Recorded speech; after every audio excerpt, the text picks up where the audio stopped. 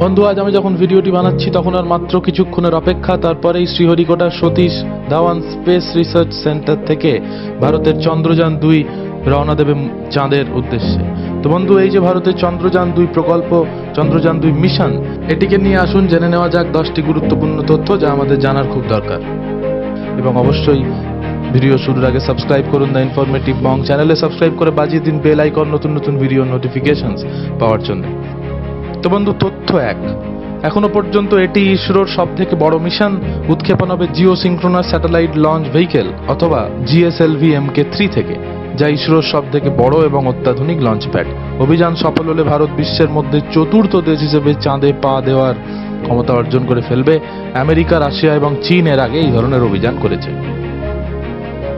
তথ্য দুই, এটি শুরু হবে Sriharikota Satish Dhawan space research centre থেকে যা একটু আগে বললাম, এবং সোমবার দুপুরবেলা হওয়ার কথা এই উৎক্ষেপণ, যার কাউন্টডাউন এর মধ্যেই শুরু হয়ে গিয়েছে। তথ্য তিন, চন্দ্রযানে মূলত ভাগ থাকছে তিনটি।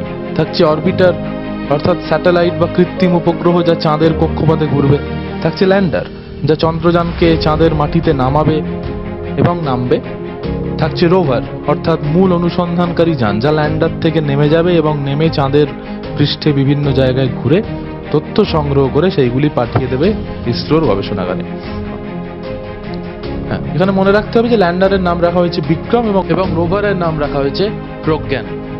তো চার, এই তিনটি অংশের প্রায় পুরোটাই তৈরি হয়েছে ভারতে, সেই কারণে খরচ খুবই কম হয়েছে। তিনটি অংশের মধ্যে যে মূল মহাকাশ যান তার ওজন হচ্ছে প্রায় তিন হাজার আটশো পঞ্চাশ কিলোগ্রাম মতো। এটি বানাতে খরচ হয়েছে মাত্র নশো আটাত্তর কোটি টাকা, যেটি অন্যান্য দেশের চাঁদে চন্দ্রযান পাঠানোর খরচের তুলনায় অনেক কম এবং একবিংশ শতাব্দীতে দাঁড়িয়ে একটি নজির বলে আমরা ধরে নিতে পারি। চাঁদের দক্ষিণ মেরুতে এখনও পর্যন্ত কোনো দেশের পা পড়েনি। অর্থাৎ এটি একটি রেকর্ড হতে চলেছে ভারতের জন্য যে ভারতের চন্দ্রযান দুই, তার যে ল্যান্ডার এবং রোভার, সেইগুলি চাঁদের দক্ষিণ মেরুতে নামবে এবং দক্ষিণ মেরুর পৃষ্ঠ থেকে বিভিন্ন তথ্য তারা সংগ্রহ করবে। তথ্য ছয় বলা বাহুল্য উৎক্ষেপণ হওয়ার পর থেকে সবকিছুই স্বয়ংক্রিয় প্রযুক্তিতে কাজ করবে। উৎক্ষেপণের পর সতেরো দিন ধরে গতি বাড়িয়ে ছগুণ করা হবে, যার সাহায্যে পৃথিবীর কক্ষপথ থেকে বেরিয়ে চাঁদের দিকে এগিয়ে যাবে চন্দ্রযান দুই।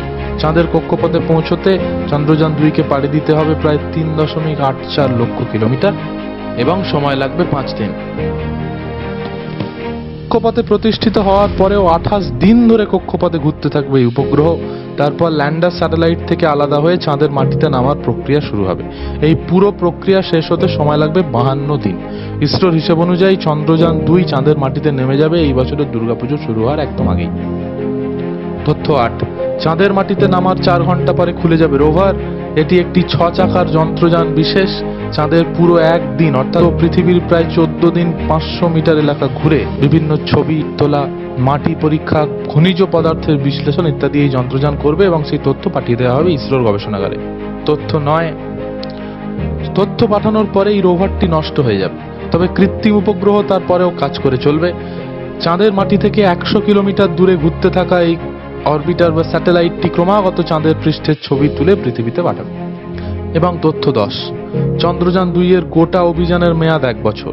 চন্দ্রযান একের ক্ষেত্রে যেটি ছিল চার মাস, চন্দ্রযান দুই ভারতের চন্দ্রাভিযানের দ্বিতীয় পর্ব চন্দ্রযান এক এই দক্ষিণ মেরুতে যাওয়ার পরে ধ্বংস হয়ে যায়। তবে তার আগে তা চাঁদের মাটিতে জলের মধ্যে থাকা হাইড্রক্সিল আয়নের উপস্থিতির কথা জানিয়ে যায় ইসরোর গবেষণাগারে। তো বন্ধু, আপনারা শুনছিলেন যে চন্দ্রযান দুই পাঠানো হচ্ছে চাঁদের উদ্দেশ্যে সেটিকে নিয়ে। দশটি খুব গুরুত্বপূর্ণ তথ্য। যান্ত্রিক ত্রুটির কারণে এটির উৎক্ষেপণ একবার বন্ধ করে দেওয়া হয়েছিল, তাই জন্য সেই যান্ত্রিক ত্রুটি সারিয়ে এবং চন্দ্রযান দুইয়ের বিভিন্ন অংশে আবার নতুন করে জ্বালানি ভরে চন্দ্রযান দুই পাঠানো হচ্ছে চাঁদে এবং খুব শীঘ্রই মধ্যেই তো পাঠানো হবে। আমাদের নজর থাকবে ইসরো এবং আমাদের নজর থাকবে উৎক্ষেপণের দিকে। আপনাদেরও নজর থাকুক সেই দিকেই, কিন্তু অবশ্যই দেখতে থাকুন দ্য ইনফরমেটিভ বাম চ্যানেল এবং অবশ্যই আপনার বন্ধু বান্ধবদের জানার সুযোগ করে দিন, ভিডিওটি শেয়ার করুন। অবশ্যই লাইক করুন, আপনাদের লাইক আমাদের অনুপ্রেরণা যোগায়, যেরকম সাপোর্ট করছেন করতে থাকুন এবং অবশ্যই সাবস্ক্রাইব করে বাজিয়ে দিন বেল আইকন নতুন নতুন ভিডিওর নোটিফিকেশন পাওয়ার জন্য। আজকে এই পর্যন্তই থাকুক। চন্দ্রযান দুই অভিযানের জন্য আমাদের চ্যানেলের পক্ষ থেকে রইল শুভকামনা। জয় হিন্দ।